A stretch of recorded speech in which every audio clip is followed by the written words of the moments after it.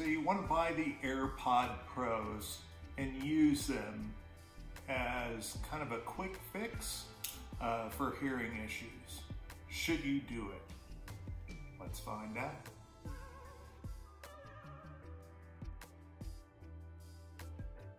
If you watch my other videos, you know that I have some hearing issues. I'm about 70% loss in this ear and about 20% in this ear. And I don't wear my hearing aids in the evening. It's just kind of a pain. Um, you, you know, at some point you have to put them away. In the evening, I like to watch my iPad Pro. This creates certain issues for me.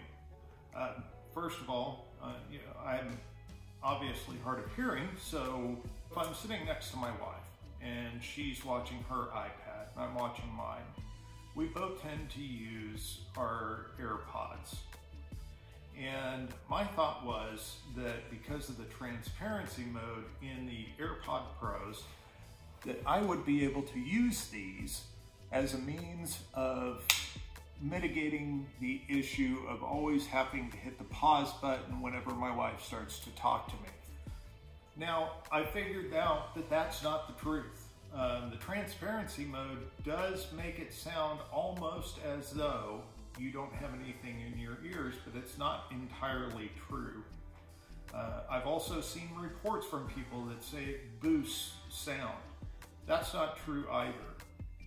Now, if you're in a pinch with AirPods of any sort and you don't have your hearing aids or you need to hear something specific, you can certainly go into the menus and turn on listening mode.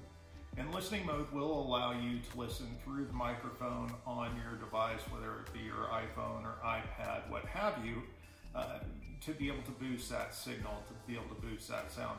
But with the AirPods Pro, I just don't think that it's a great buy. Now, if your hearing is mostly a low tone loss, you might be in luck because it certainly enhances that. But any of the high to mid range sounds, it's not going to do anything for you. So, although I want to love these, my hearing loss is high tone uh, and a little bit of the mid range. So, unfortunately, I don't get the clarity that I'm looking for in order to make it a worthwhile venture to listen to them, uh, also be able to communicate with my wife, listen to them at a lower volume and whatnot. I do still have to pump the volume up a bit, but I just wish Apple would do a few simple things. If they would allow you uh, to use an equalizer or to increase treble uh, in these devices in the actual settings of the devices, then we might have something that works. However, uh, that hasn't happened yet. And there's other, there's companies on the market like Nuheara who have come out with what's called a hearables device. And that is a, a device uh, where you can listen to music and you can listen to other things. You actually have an application uh, that tests your hearing and then adjusts the devices based off of your hearing. Unfortunately, Apple hasn't come out with anything like that. Now, do I think that Apple's going to be a contender in the future? Sure, sure. I think that they're going to get into the hearables, if not hearing aid uh, space, because it's opening up this year uh, over-the-counter hearing aids are going to be something that any company can compete for. However, they haven't done anything with it yet.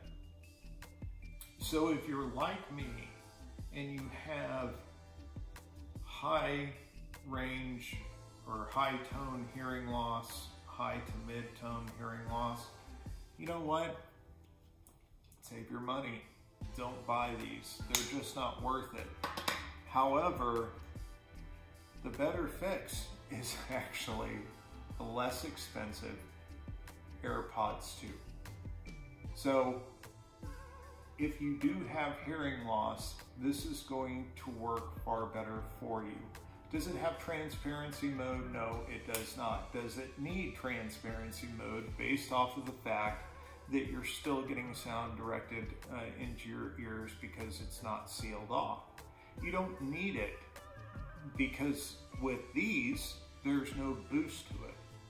So having that situational awareness and capability of hearing is not going to happen.